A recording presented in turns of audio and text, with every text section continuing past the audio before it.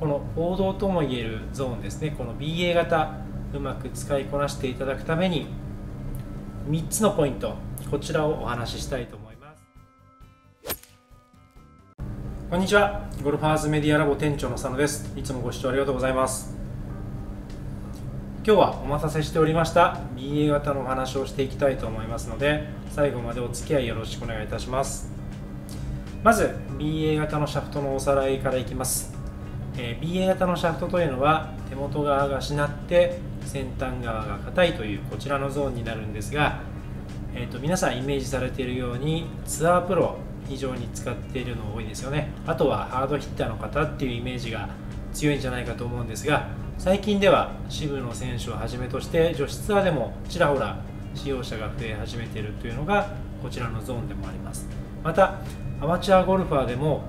ここのゾーンに入る方っていうのは非常に多いです。うちでフィッティングしていてもそうですね半分まではいきませんが、え4割近くのお客様はこちらのゾーンに当てはまるんじゃないかというふうにも思います。ですので今回この BA 型の注意点ね、知っていただいてこの王道ともいえるゾーンですねこの BA 型うまく使いこなしていただくために3つのポイントこちらをお話ししたいと思います。まずポイントその1こちらの図をご覧ください。でこちらの図は縦軸にシャフトの戻る速さ。そして横軸にシャフトのしなり幅の大小というのを載せています。でこのシャフトの名前ね、いくつも散らばっていますがこの分布を見ていただけると分かるように、えーと、右上のアッタスパンチから左下の天性 CK プロオレンジまで見ていただくとかなり、ね、幅広く散らばっているのが分かると思います。で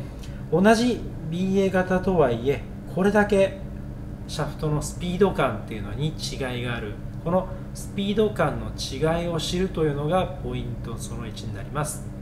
でこのスピード感を知らないとどういうことが起きるかといえば、えーと、せっかく BA 型のシャフトにしたのに球が左に巻いてしまうようなんていうミスも起こりえますし、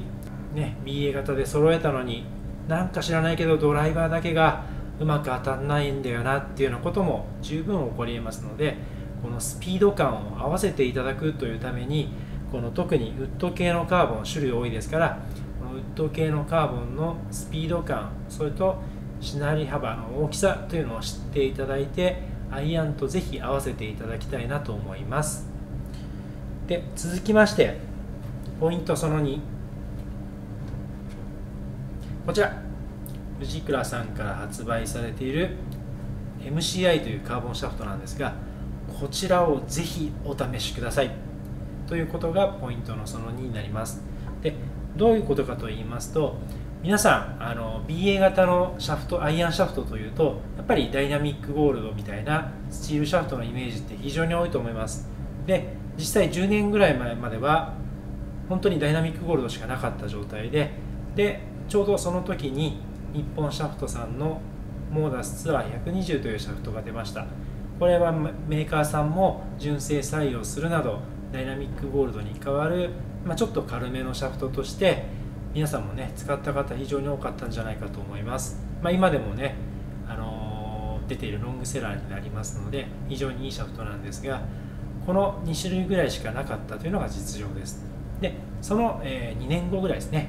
2012年に藤倉さんからこちらの MCI のシャフトが発売されました。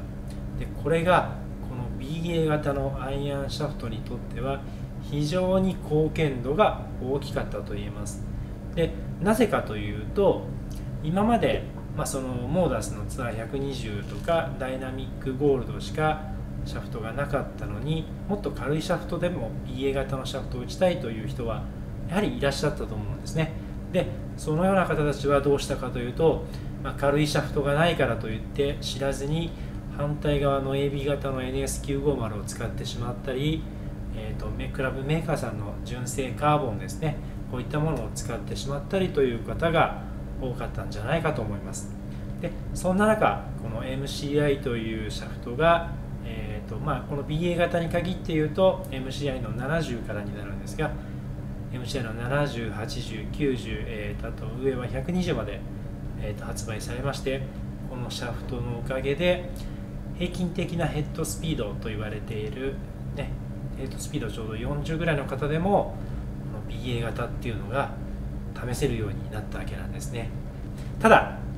ヘッドスピードの速い男性の方はえカーボンなんかっていうふうにね思っていた方も多いと思います。ただこれはもうカーボンと侮ることなかれ、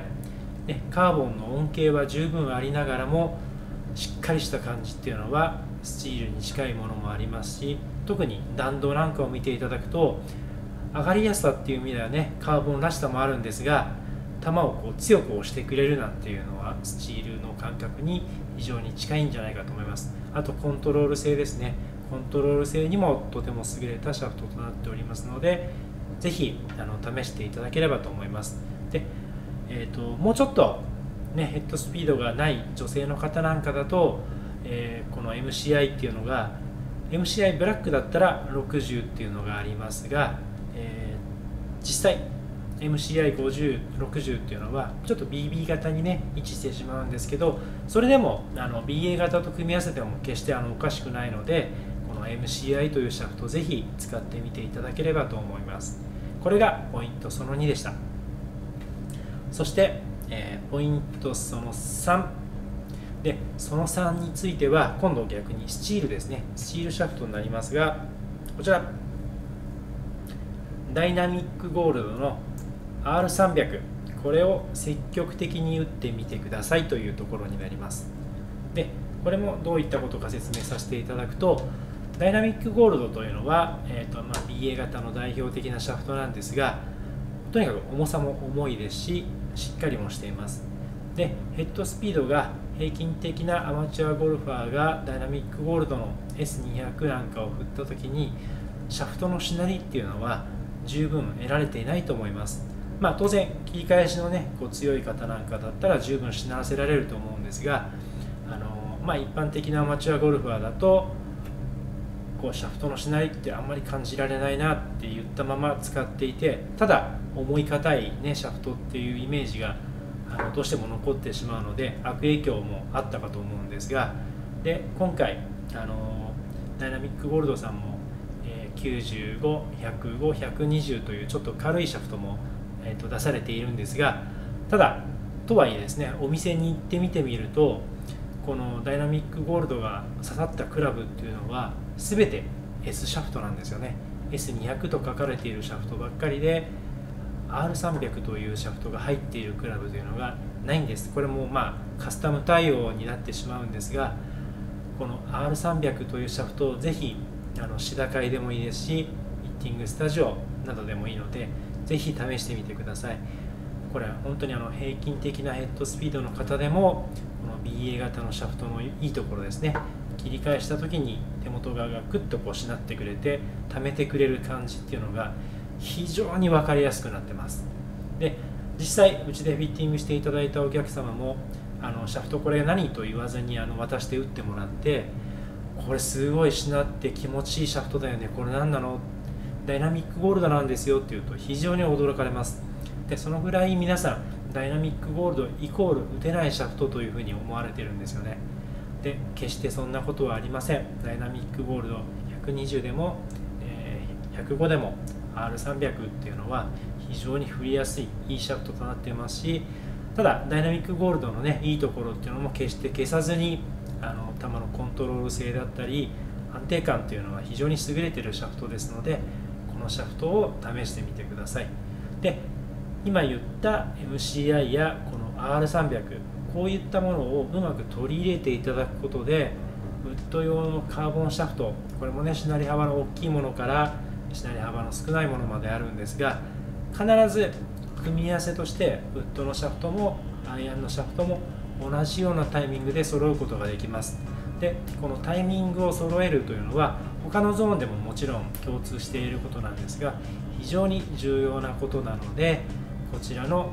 BA 型でも使えないと言って諦めずにシャフトのフレックスであったりカーボンを取り入れることで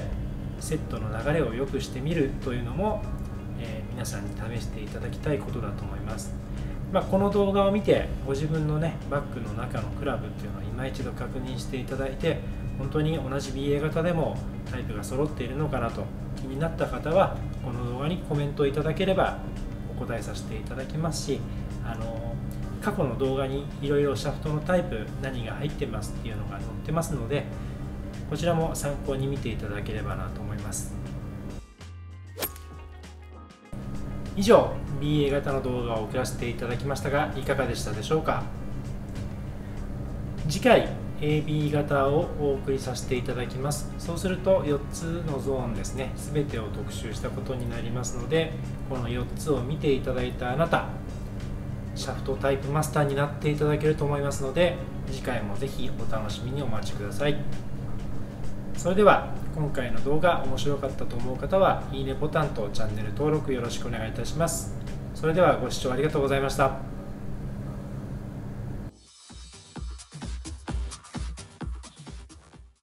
ゴルファーズメディアラボであなたのゴルフが変わります。